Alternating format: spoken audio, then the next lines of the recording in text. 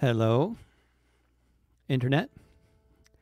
It's always this awkward beginning of these things when nobody's listening and I'm waiting for people to tune in, but I'll just uh, stop waiting and I'll just talk because people will be listening to this after the fact too in podcast form. Speaking of which, you can download this in podcast form at uh, soon after it's done at uh, Patreon, at Substack, and also at davidrovics.com slash this week, where you can find various other spoken and sung broadcasts.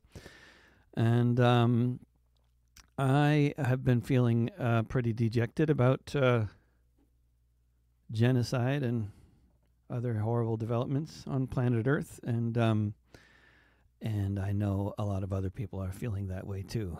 And uh, given that uh, we don't seem to be able to stop it from happening right away, I thought I'd do a broadcast about rebel songs, rebel, rebel, about rebellions, about re- the resistance. Because basically, I was just thinking this morning as I was planning this broadcast, which was a very uh, unplanned affair, um, just because my family was leaving me for the day, and I thought I should do something. So I thought I'll, I'll do a broadcast. And then I thought, well, what I really should do is songs about actual resistance, not just the usual songs that I do about people who died. You know, I often say my my songs have a high death toll, and um, you know that's okay but it's um, I think good to actually focus on actual. I mean, it's successful resistance, and I say I, will put successful with a little, uh, you know, a little asterisk because um, re- rebellions don't usually lead to revolutions. They, uh, but they do usually lead to big changes, and um, and then, uh, of course, armed rebellions are only one, uh, but one very important way that things have changed um, in history, recent and, and, and further uh, back around the world. But then there's also all sorts of other forms of resistance that have made a real impact on all kinds of different societies, including mass uh, civil disobedience and um, and even um, actions undertaken by small groups of people and even individuals, uh, which have historically uh, actually made a big difference in all kinds of different settings and societies and and uh, you know as history unfolded in various different places. So there's your overview for what I'm doing here. I have a I have a handwritten list of um, songs, uh, which is all songs about uh, on this uh, general subject, and I'll I'll make them into a playlist of resistance songs on um, SoundCloud eventually, and um, this will probably be one of many uh, similar sessions on this subject because I've actually written a lot of songs about this, although I've never put them together in any form. Uh, actually, for some reason. Um, but uh, I will just uh, more or less randomly start. And I can see your comments, by the way. So thanks. I love seeing comments. And, and if there's anything in particular that seems relevant for responding to or putting up on the screen or something, just, uh, you know, uh, will. And, um, but um, I'll start this uh, little um, first of a, a series of broadcasts about songs related more pretty much directly to resistance of various kinds. Um, with uh, a little song about uh, 1831 in Wales. Um, the first use of the red flag as a symbol of revolution was uh, apparently uh, in Wales in 1831, and um, this uh, the Merthyr Tydfil uprising, uh, which was put down by Scottish Highlander troops in true colonial fashion um, was a, a, seminal event, uh, the last armed uprising on the island of Great Britain, and um, it was a uh, an event that uh, but that that very much helped uh, sort of midwife the birth of the um, Welsh, English, and Scottish uh, trade union councils, which formed um, three years later and, and made and were basically the, the, the, the foundation of what would be eventually become a powerful British labor movement.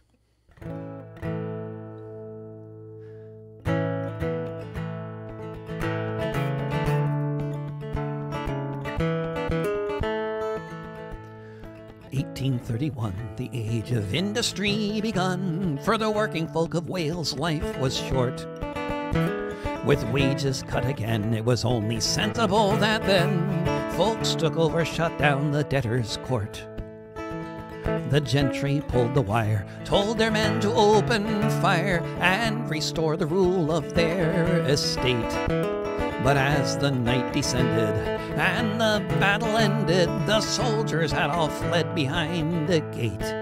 They chanted cheese and bread, and our children must be fed in the days when Wales rose against the crown.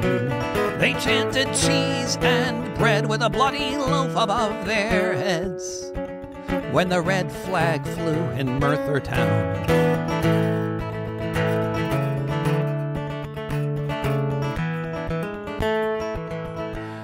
The message went out east and west to put the gentry to the test. The cavalry was ambushed and turned back. After so long playing defense, the time had come now when the workers were the ones on the attack. They chanted cheese and bread, and our children must be fed in the days when Wales rose against the crown. They chanted cheese and bread with a bloody loaf above their heads when the red flag flew in Merthyr town.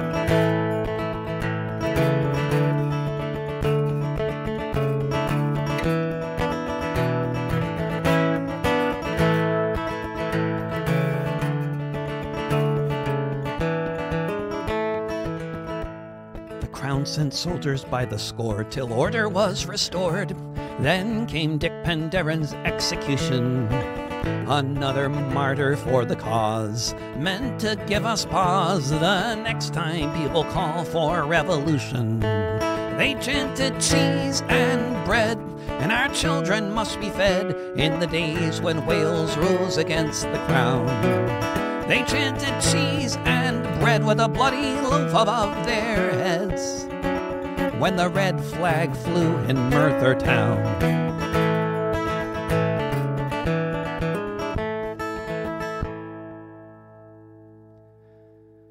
And that is going to be on my upcoming album with the band in France that I was recording with last month. Whenever the album's out, I'm not sure, but that'll be on it. And this next one will be as well. And um, it is uh, a decidedly punk rock rendition that you'll be hearing. And um,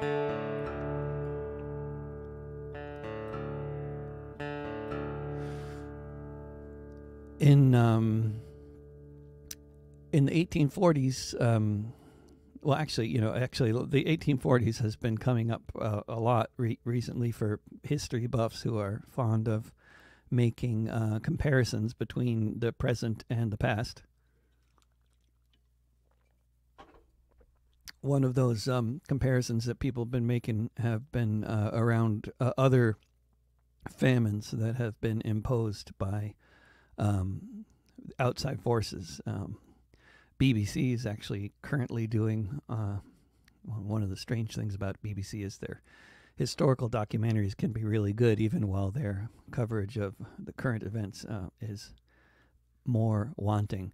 But um, they're they they have an excellent uh, series that they're doing right now called the Three Million about um, the Bengal famine uh, during uh, the Second World War, which was entirely um, entirely the fault of the British colonial authorities in India, and um, they uh, the British colonial authorities were directly responsible for other famines, including the famine in Ireland in the 1840s although at least with the famine in Ireland, as well as the hunger that was uh, uh, throughout Europe uh, for for the working class um, and the peasantry um, in the 1840s. Uh, in Ireland, it led to famine, and the reason is because of British government policies. Uh, although there was a potato blight throughout Europe, um, and uh, and it was causing all kinds of problems, and it was also leading to all kinds of rebellions, including the rebellions of 1848, which overthrew every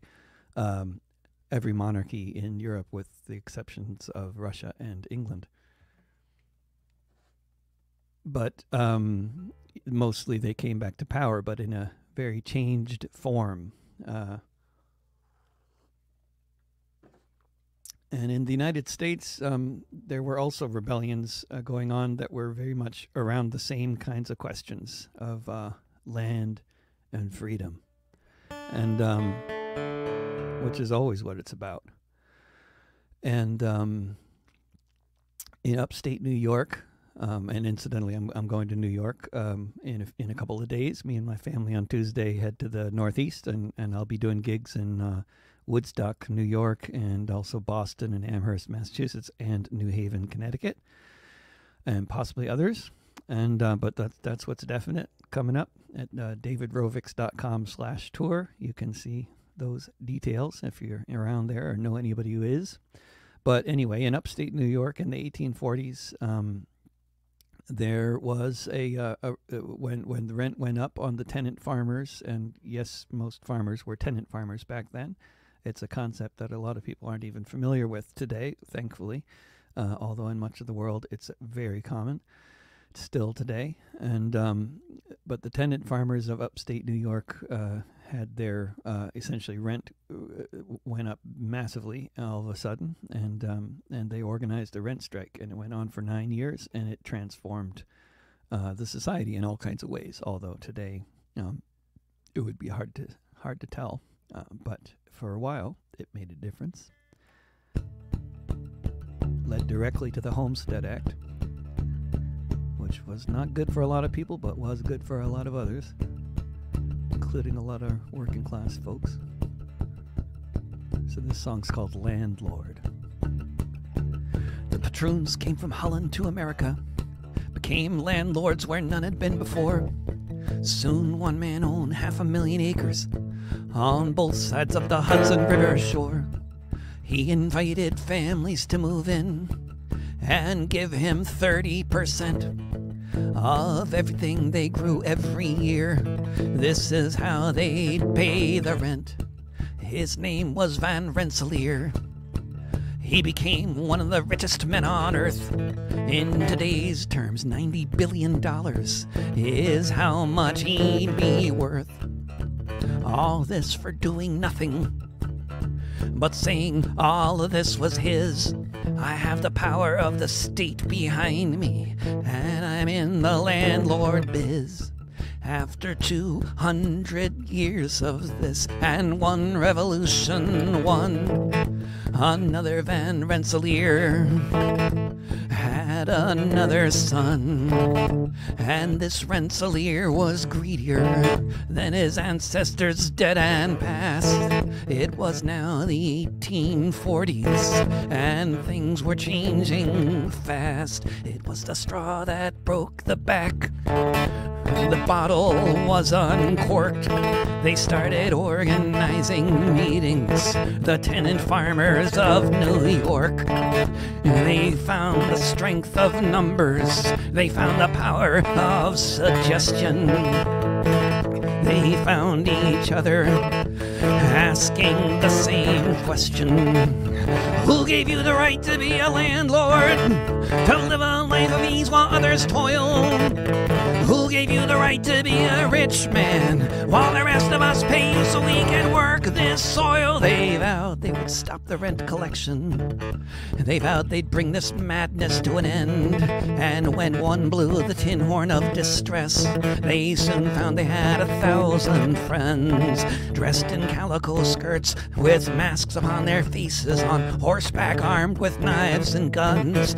They chanted and they yelled, they kept their farms, and they kept the sheriffs on the run. They asked, Who gave you the right to be a landlord? To live a life these or others toil? Who gave you the right to be a rich man while the rest of us pay you so we can work this soil?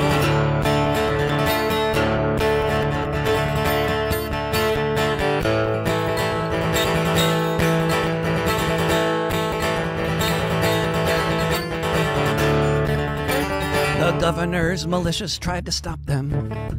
But nothing could be done to break their will. And by 1848, the landlords buckled, sold their holdings to the farmers in the hills. Yes, they overthrew this feudal system, but it's replaced now by speculators and banks. And you can still hear the homeless families asking, Ah, oh, the landed gentry in our ranks. Who gave you the right to be a landlord, to live a life of ease while others toil? Gave you the right to be a rich man while the rest of us pay you so we can work this soil? Who gave you the right to be a landlord? To live a life of ease while others toil? Who gave you the right to be a rich man while the rest of us pay you so we can work this soil? Who gave you the right?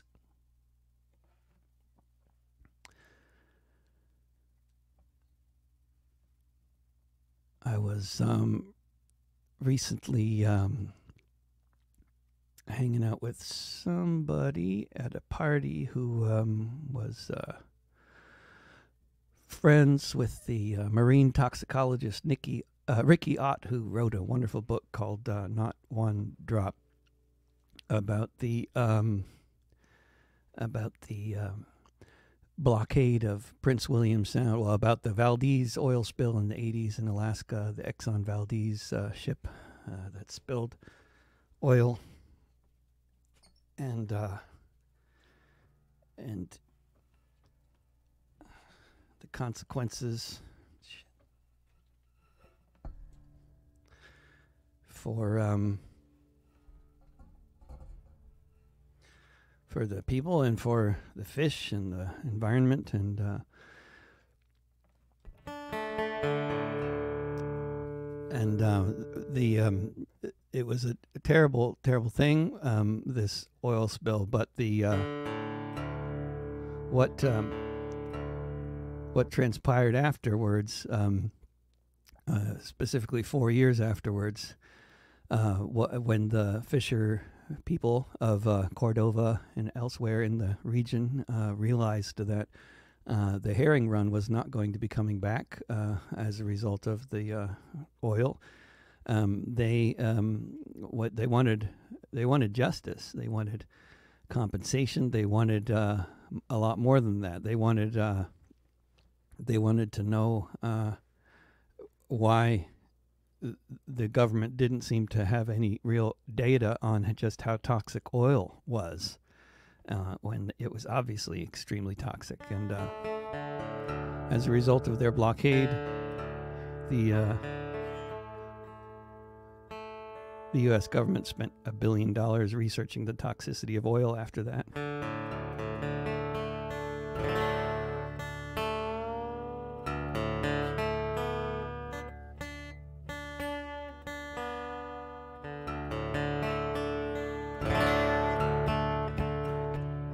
Song called Cordova.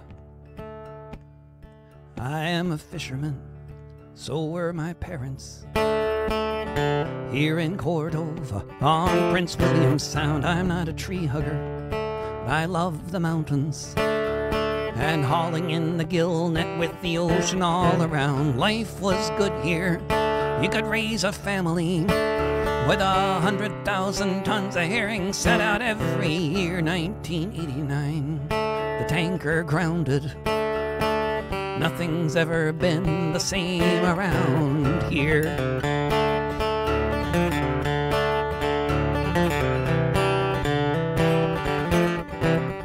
Senator Stevens said, not one drop of oil would spill on Alaska's shores, and if it happened, it would be cleaned up but our beaches were still covered, as was the ocean floor. For years past, each run collapsed.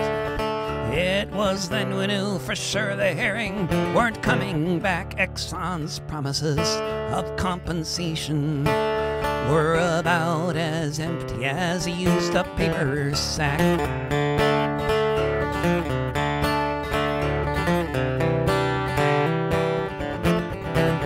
Was August 20th, 1993, when we fishermen decided something must be done. We packed some groceries, we made some banners. We headed out to Valdez Narrows beneath the midnight sun. 100 vessels took to the water, pushed through a storm and to the Valdez Sea. We lined up our boats, formed a blockade, and we waited for whatever might be.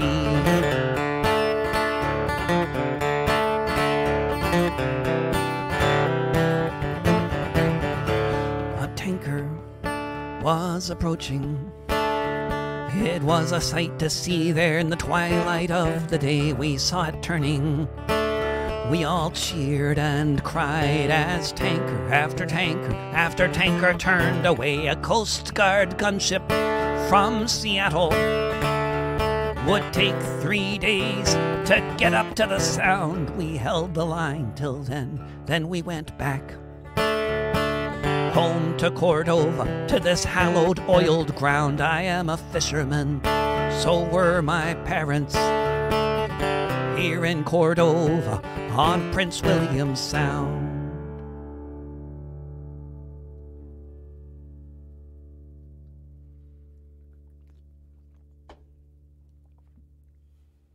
I'll do a song about another sea related event um, this is not so much about a social movement as about um, another action taken not by a small group or a social movement or an individual, but taken by the leader of one of the world's biggest empires at the time.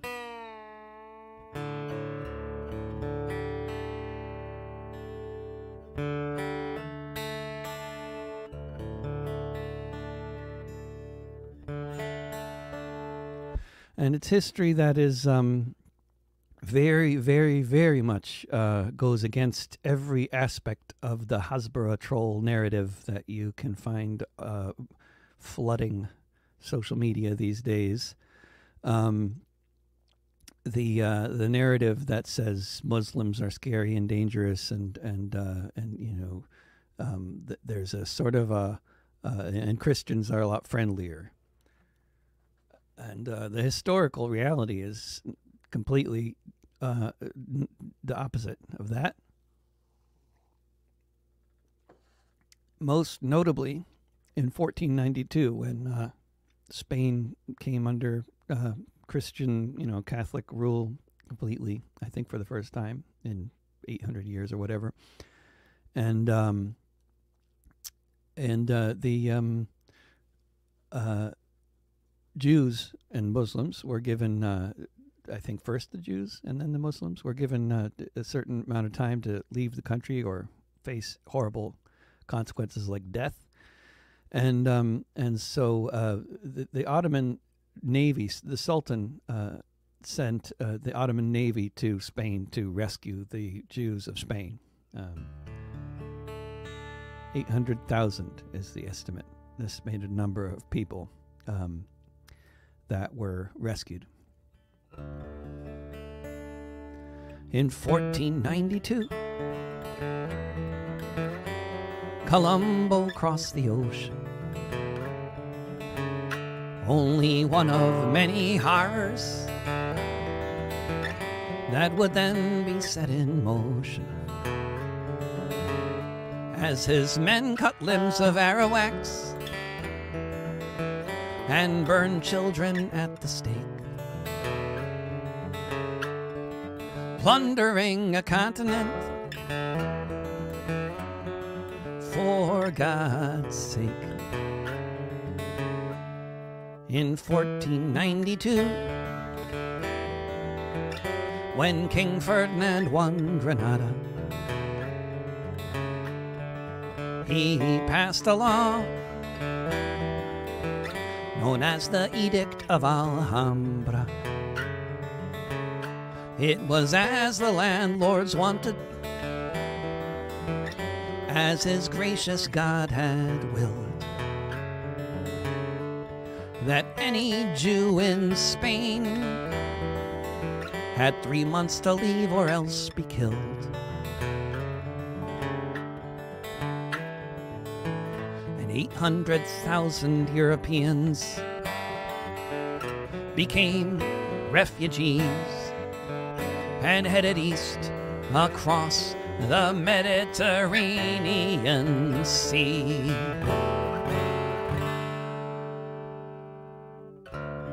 In 1492, they were starving and bereft. The king said they'd be safe up until the time they left. But Christian Europeans cut them open with their swords, searched their stomachs for gold, and dumped them overboard. And 800,000 Europeans became refugees and headed east across the Mediterranean Sea.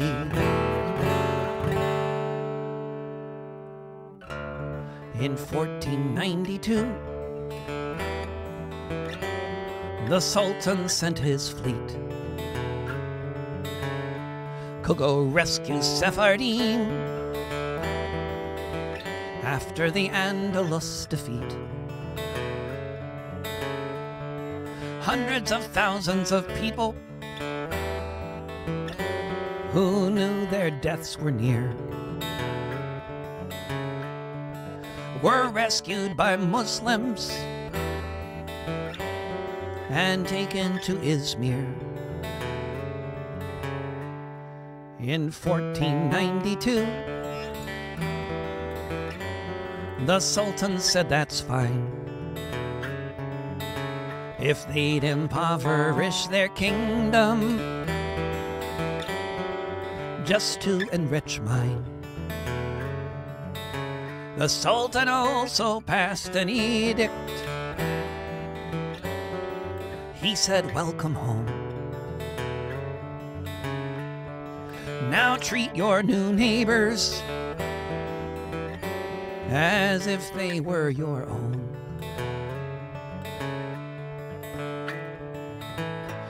800,000 Europeans became refugees and headed east across the Mediterranean Sea.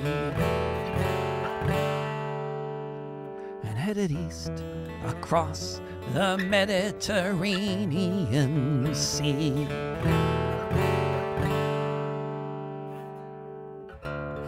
In 1492,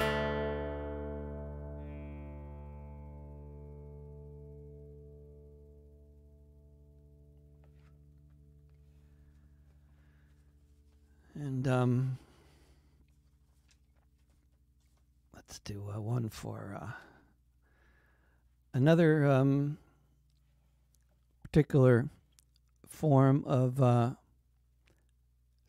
relatively small groups of people uh, having a um, disproportionately large impact uh, given their numbers um, have been uh, events taking place in England and Scotland over the past several years, or three years, I guess, involving the company Elbit Systems and UAV systems and other related uh, arms manufacturers and weapons manufacturers um, that export largely to the Israeli military. Um, which is, of course, actually illegal under British and international law, given that um, Israel is constantly violating all kinds of uh, laws, uh, international and otherwise, um, that uh, should uh, actually prohibit the export of arms to Israel from Britain.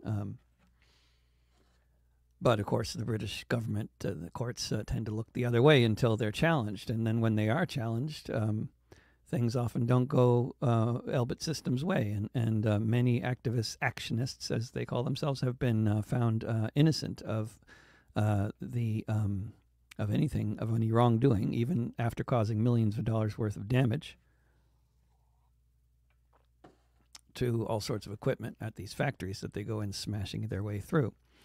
And um, lately, there have been some uh, people found guilty and, and, and facing all sorts of prison sentences. And I encourage you to go to PalestineAction.org and, and uh, find out what are the court, ca- court cases going on now and who needs support in the course of these uh, prosecutions against uh, Palestine Action actionists. Um, I used to see them a lot on Instagram, but apparently Instagram just passed a new uh, a regulation that uh, political content is throttled unless you uh, say somewhere uh, on Instagram that you want uh, political content.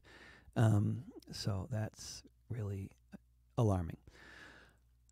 And um, this is a song about events that have been taking place in England and Scotland, and I will just pause momentarily before singing the song to mention to people in England or Scotland or Wales or Ireland that I will be coming back there in March of 2025. I know that's a long way off, but next year, this time, I will be there, and uh, I can. I, I already got a booking in London, and I'm very open to more.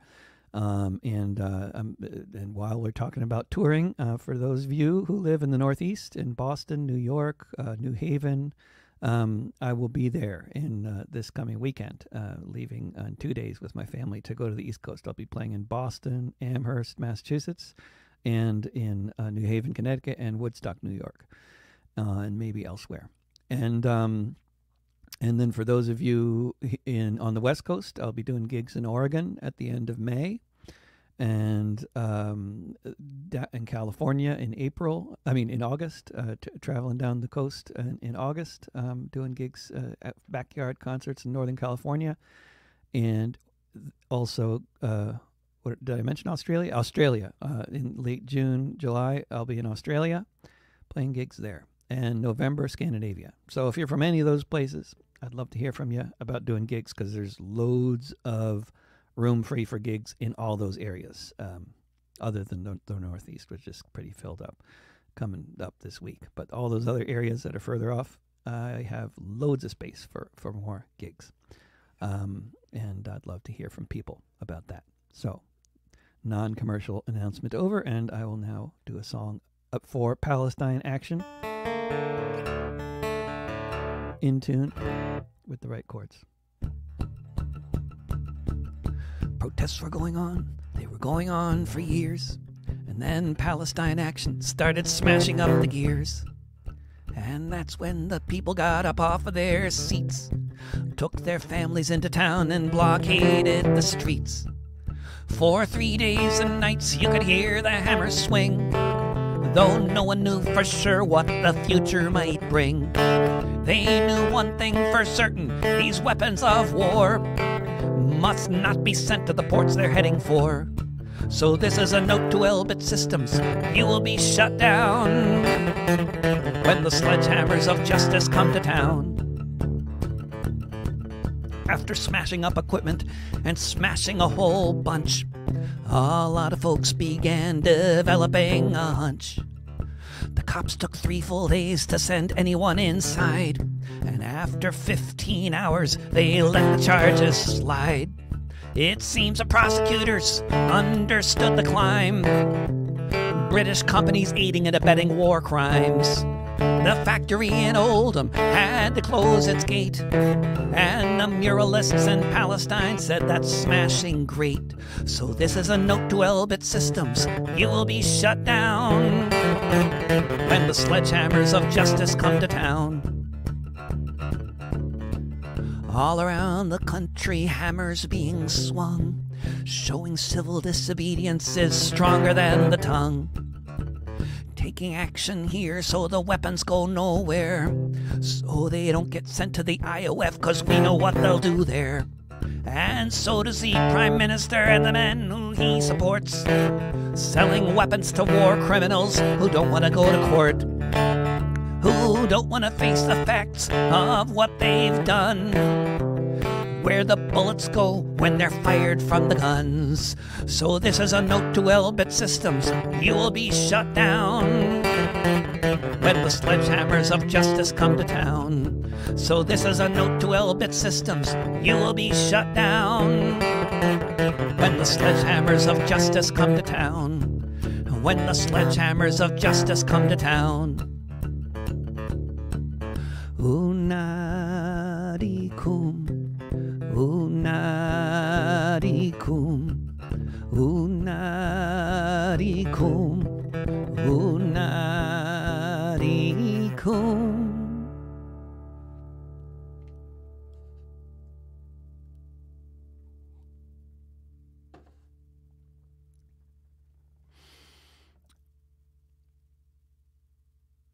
There's um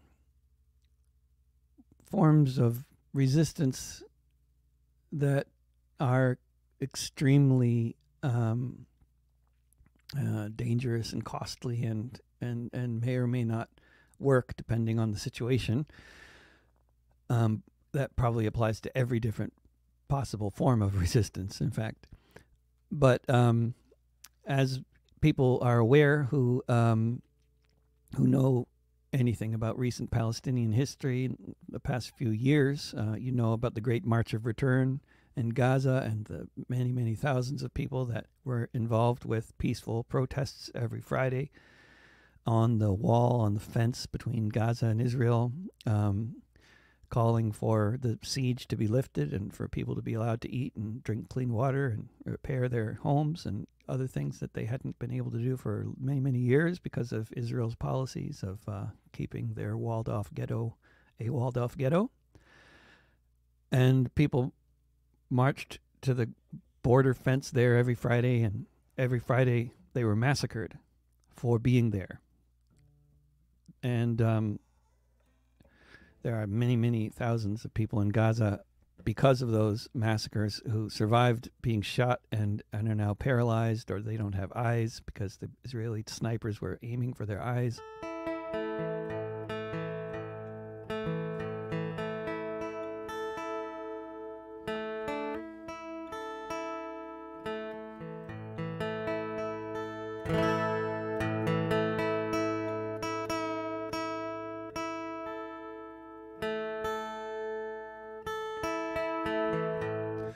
Then other times, uh, the same kind of nonviolent, very high stakes kind of tactic of uh, just standing your ground and doing it like that. Um, in other cases, with a less um, fascistic foe than the Israelis, um, it works and um, can change whole societies with this kind of sentiment. And uh, this is a song about what happened on December 21st, 2015, on the Kenya Somalia border.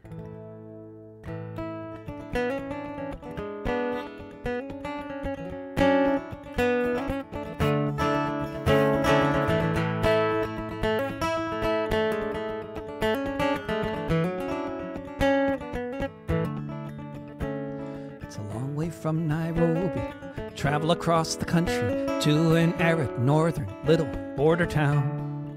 If you leave early in the day, you'll still be on your way long after the sun is going down. It began as just a ride to the other side, but then was interrupted by the sound of the shattering of glass as the driver tried to pass the men with guns there on the dusty desert ground. There were two already dead, another shot as she fled.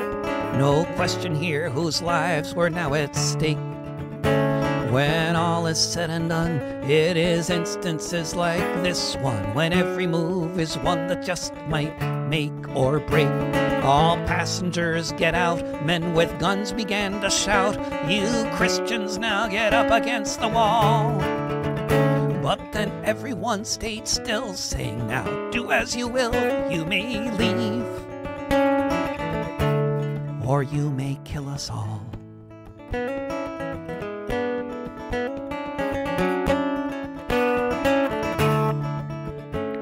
It wasn't far away, just over a year ago today, when people were massacred exactly in this manner.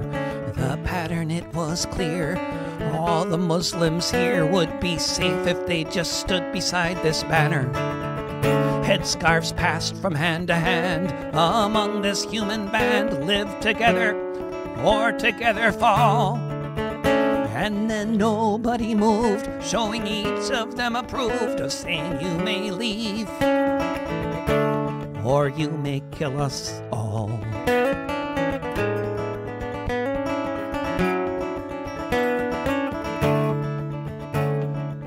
Wasn't set in stone, there's no way they could have known that this time, this act of solidarity would see the gunmen leave goals left unachieved on the border there in Mandera County.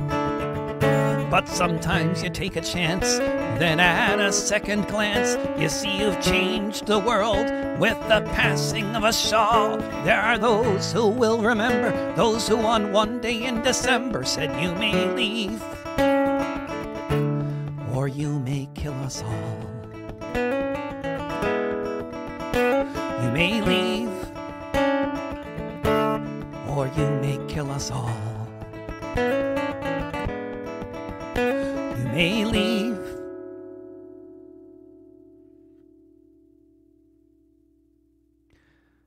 And of course, um,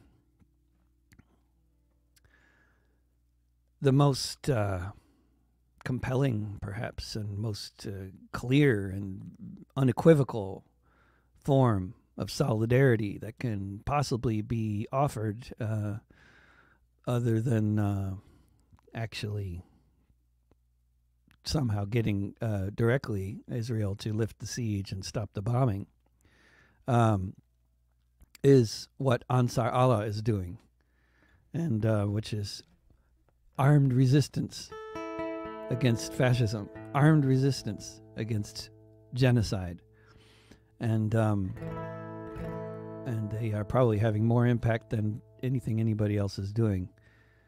And um, and that's not surprising. Half the world's trade passes by here. So much of it goes through Tel Aviv. Meanwhile, in the port of Gaza, no ships can arrive and not a boat can leave. While every day hundreds are dying beneath the rain of missiles fired from the air, millions of starving Palestinians on the run and being slaughtered everywhere. No safe place in the Gaza Strip. No armies coming to defend. While all over the planet, people are asking when will this savage bombing end? Many more thousands of children can be killed while we stand by? How can we just live our lives while we watch the babies die? Shukran Jazilan to the Houthi army standing for the conscience of us all. When they say no business as usual, while the bombs continue to fall.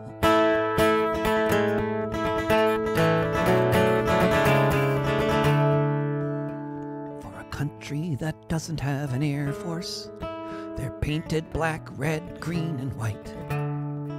On the helicopters they use to board the ships to show their cause is right. The president says this terrorism must stop right away. To which the Houthis respond, yes, that's exactly what we are trying to say. Shukran Jazilan to the Houthi army standing for the conscience of us all. When they say no business as usual, while the bombs continue to fall.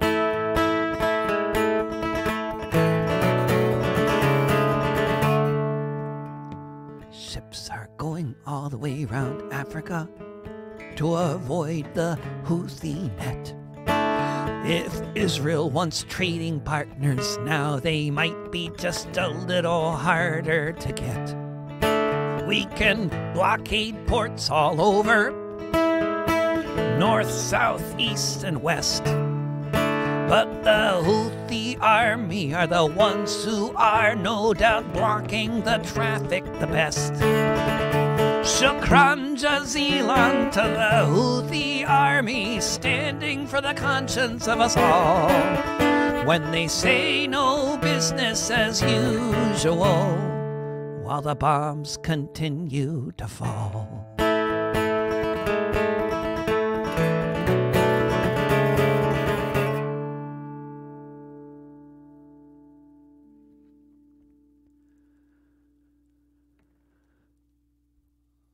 It's um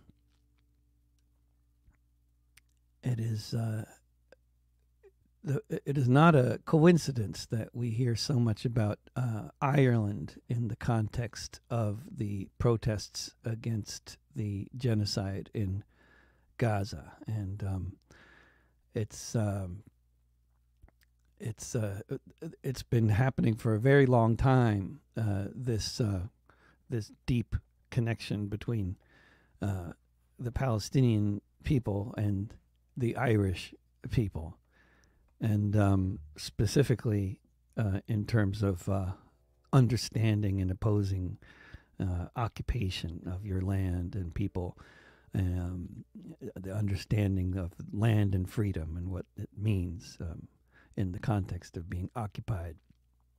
And um, it's uh, there's so many parallels, uh, although certainly um, what is being done to Gaza is uh, has few parallels in in uh, in recent history. The savagery and incredible amount of bombs being used and the the uh, totality of the famine. Uh, it's all very um, nothing like what we've seen in this world for a very long time um, despite the fact that there are other horrible things happening right now at the same time. Uh, there's nothing quite like Gaza, and um, and there hasn't been uh, for a very long time.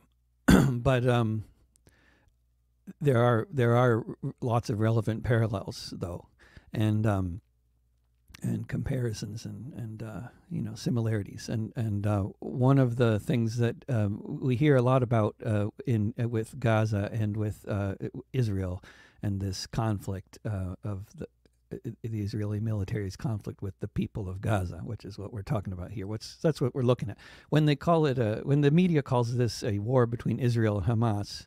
What they're doing uh, is engaging in Holocaust denial, and I think it's a very important uh, point to make. Uh, this is this is a form of Holocaust denial. To call to call this uh, war a war between Israel and Hamas is a form of Holocaust denial. It's not a war between Israel and Hamas. It's obvious to anybody uh, who's been looking at what's been happening there for the past several months. This is a war of Israeli military against the people of Gaza. Uh, it is a war against the people in response to a people's war. It's the same kind of tactic that the U.S. used in Vietnam against the Vietnamese people, just killing them. Um, you know, for existing this is what's happening. Uh, it's a genocide. Uh, to to to not acknowledge that is to deny a genocide. It is a form of Holocaust denial. Uh, that's what's going on. That's what we're seeing in the Western media is Holocaust denial every day, and uh, that's what we're seeing from the Western leaders is Holocaust denial, including many of the ones calling for ceasefire, who are not uh, calling this uh, Holocaust or calling it a genocide or calling it what it is, which is Israel engaging in the mass starvation intentionally and completely unnecessarily of, of an entire population, mostly children. And, um, but, um, uh, you know, the Irish people refer to the Holocaust of the 1840s, um, which which was in, in so many similar ways an intentional intentional killing of millions of people, intentionally not saving the lives of millions of people because your government changed its policy. I mean, it's as clear as night and day for those who aren't familiar with the history. Um, there was a government. It, right in the middle of of the uh, potato blight, uh, there was a, a, a, uh, an election in England, and a different party came uh, to power, and and the the, the uh, party that came to power in the middle of the of the potato blight uh, no longer believed in keeping the Irish people alive and uh, and so they uh, just you know stopped uh, you know um, th- they stopped with the arrangements that had existed prior to that, which I don't need to get into the details. But it was a government change uh, and and change in policy that directly resulted in the famine. Um, but uh, more recently than the Irish famine, um, you know, looking at the uh, the 1970s, um, you know, when when we talk about these prisoners and hostages in Gaza and Israel, you know, thousands and thousands of of, uh, of children being held in in uh, Israeli prisons indefinitely without charge, uh, along with adults.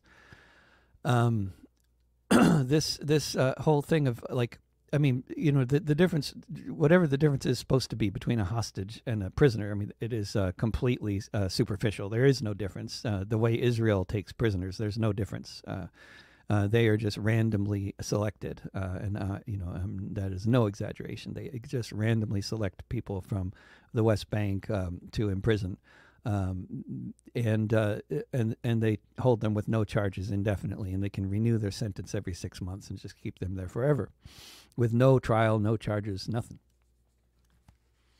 That's exactly what uh, that was the UK's policy in their occupation of Northern Ireland, of the occupied six counties of the north of Ireland. That was their policy, uh, indefinite detention without trial, um, in the early 1970s, which is you know exactly what led to the uh, Republican movement getting bigger after that or during that time. Uh, it was those kinds of repressive policies.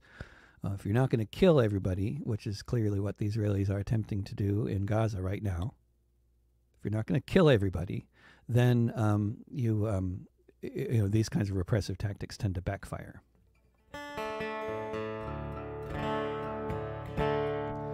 And I appreciate all those uh, slightly veiled uh, requests for this song, and um, it's always such a pleasure to see all you rebels from Ireland um, uh, on the feed there commenting. This is for Commandante Francis Hughes. He grew up on a farm in a troubled Irish land under foreign rule and the British Crown's command. His father fought for Ireland 50 years before, but the Free State cut their losses and the English won the war. When internment without trial was the order of the day, when his brother was arrested and his friends were blown away. When he was beaten near to death, he decided, come what may, he'd throw his lot in with the Provos and he joined the IRA. In the occupied six counties, perhaps it never will be known. All the foreign soldiers in Armagh Tyrone who decided to head back across the Irish Sea so they wouldn't have to meet the man from south of Derry. He never wavered in his battle for Irish liberty, and the crown would soon regret the day they made him enemy. The Brits called it bandit country, and it filled them all with fright. In the borderlands, he who walked the hills at night. Up the Provos, that's what he said. Three little words that filled the British crown with dread. With a rifle on his shoulder, a timer, and a fuse. Long may we remember Commandante Francis Hughes. Long may we remember Commandante Francis Hughes. Once he was surrounded by the SAS. How he might escape was anybody's guess. In his boots and camouflage, he didn't miss a beat. He walked right past the soldiers and out into the street. Once he came upon a checkpoint, the soldier didn't want to die. He recognized our Francis, and the soldier waved him by. He didn't want to find out if he could take what he could give. He knew there'd be a shootout, and the soldier chose to live. Up the provos, that's what he said. Little words that filled the British crown with dread. With a rifle on his shoulder, a timer, and a fuse. Long may we remember Commandante Francis Hughes. Long may we remember Commandante Francis Hughes. He was the North's most wanted man, with his photo everywhere. But he eluded capture with his wit and dyed blonde hair. For six years he was active, three times as long as most. He became a legend north to south and coast to coast. He came upon two soldiers out one night on patrol. They shot him in the firefight, and the bullets took their toll. He crawled off into the bushes, but they found him the next day. Grabbed him by the arms and carried him away. Up the provos, that's what he said. With a shattered bone and a body full of lead, with a rifle and a, a timer and a fuse. Long remember Commandante Francis Hughes. Long may we remember Commandante Francis Hughes.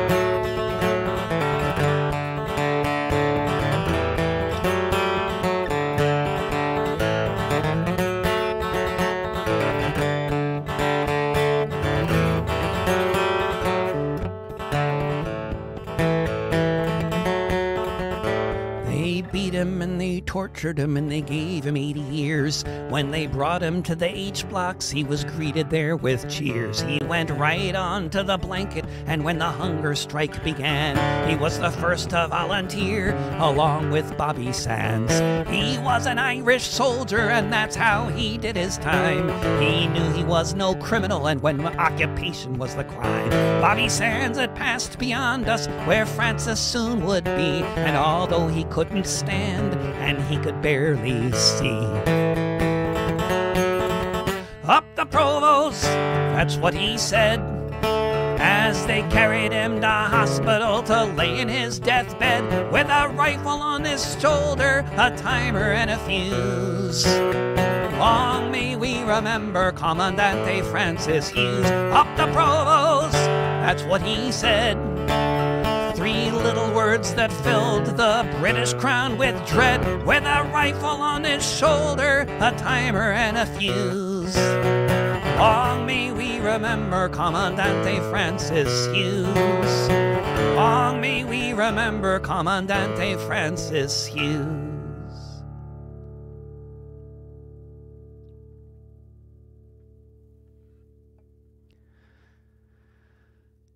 Somebody is asking about uh, me coming to New York City. I could and I might. Uh, there might be a gig in New York City on Friday. That is uncertain at this point. Um, but where I definitely will be playing is uh, Boston and Amherst, Massachusetts, New Haven, Connecticut, and Woodstock, New York. Um, so if you are in or near any of those places or know anyone who is, please send them to davidrovics.com slash tour and they can find out about uh, and come to a gig and you know hopefully enjoy it. Um, and um, these are songs about resistance if, of one form or another rather than just songs where everybody dies at the end which is my specialty. But i was realizing today uh, looking at these uh, finding songs that were specifically about uh, resistance that has actually had a positive impact, um, in my humble opinion. And I realized I've written a lot of these songs on that subject. And you have just heard a selection of them. And I will be doing many more of these uh, seg- of these um, concerts on the internet specifically about songs of and about resistance. Um, the Up the Rebels, Up the, what am I calling it? Yeah, Up the Rebels uh, series. There will be more. I don't know when, but soon. And I will uh, leave you with a song that isn't specifically actually about uh, a specific resistance campaign. It's more about the concept that music has an impact on fomenting and sustaining um, and uh, commemorating um, and inspiring resistance. um, the Israelis are very familiar with that um, f- concept of re- of music and art and culture um, inspiring resistance, which is exactly why they are destroying all the cultural institutions of Gaza one by, at a time. They've destroyed hundreds of UN schools, uh, hundreds of hospitals, and museums and other cultural uh, artifacts and statues. They're just destroying it all because they want to erase the existence of the Palestinian people. And partly, a big part of why how you do that is by destroying cultural institutions and by assassinating journalists and assassinating artists and assassinating poets. And um, this is something they've been specifically doing for the past few months. I've also written songs about it.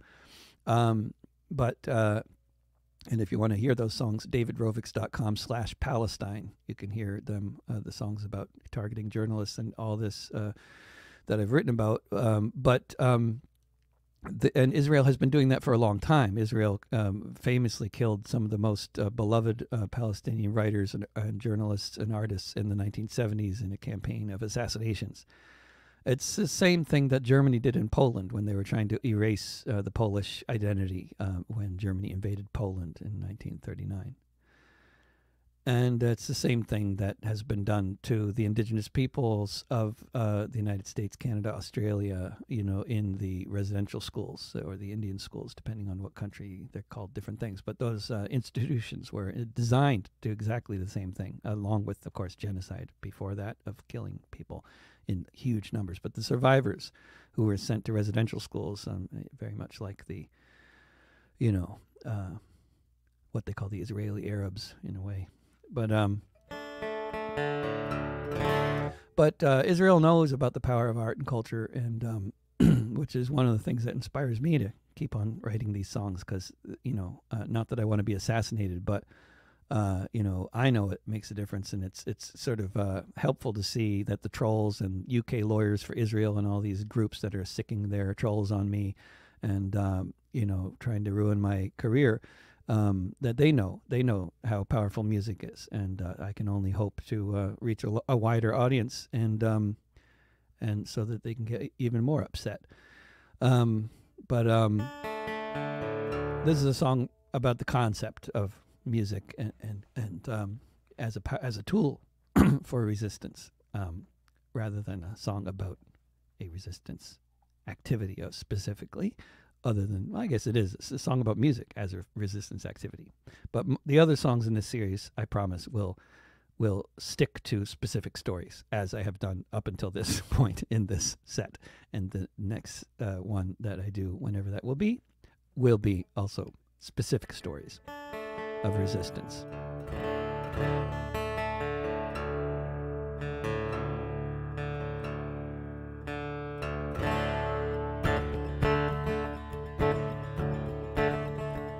A song could bring us together across the planet that gave us birth to act as one, bring peace and justice all around this shattered earth.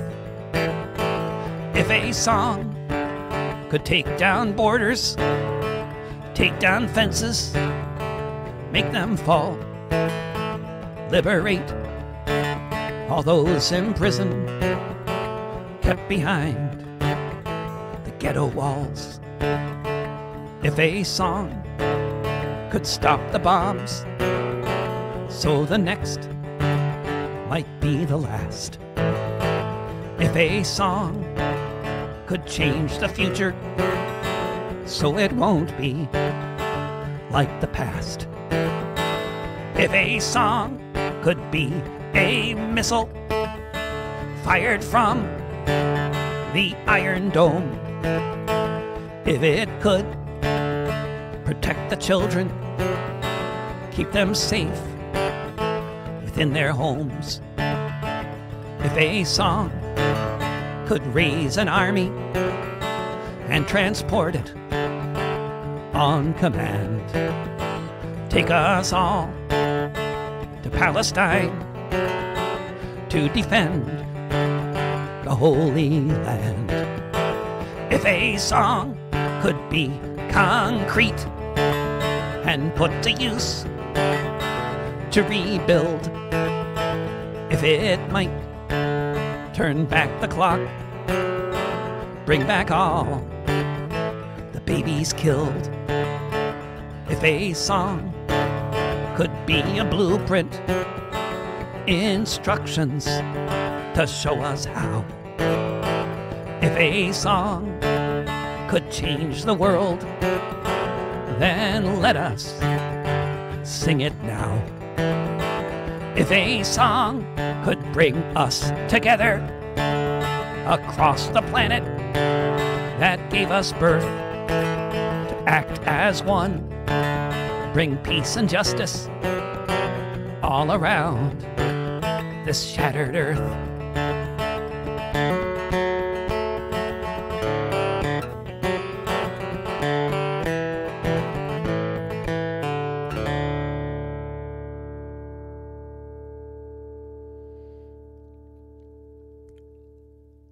You very much, everyone, for listening. And uh, this will be um, archived on the very the usual platforms on YouTube, Facebook, X. Um, afterwards, and in podcast form, you can find it on uh, Substack and Patreon, and at davidrovics.com/slash this week.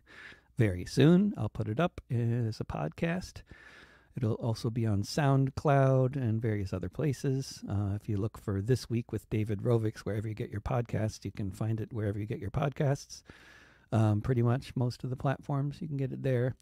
Um, and um, and if you are in the Northeast U.S. or um, th- th- coming right up, I'll be I'll be playing in um, in Boston, in Amherst, in New Haven, and in Woodstock. Um, and I would love to see people out there if, in the Northeast if you know anyone ar- around there. And if you are in other parts of the world and might have any inclination to hear music like this live and organize a gig, uh, for me, that's how I actually do this. Um, it's all crowd-funded and crowd-sourced. The gigs are crowd-sourced, and my survival is crowd-funded. Um, Patreon and Substack is where you can crowd-fund my survival and allow me to keep on doing this if you want to, and um, and the other thing you can do if you are inspired is to organize a gig. Um, so other than the Northeast coming right up, I will be uh, in uh, on the West Coast in Oregon, uh, um, in doing gigs in late May. I'll be uh, doing a tour in Australia in June and July, and um, California West Coast tour in August, and in November Scandinavia and then a year from this month in March uh, 2025, I'll be in England and hopefully also various other parts of the islands around there, like Ireland and Scotland, etc. Thanks for listening, and uh, keep on keeping on. Um, and um, yeah, free Palestine. Bye for now.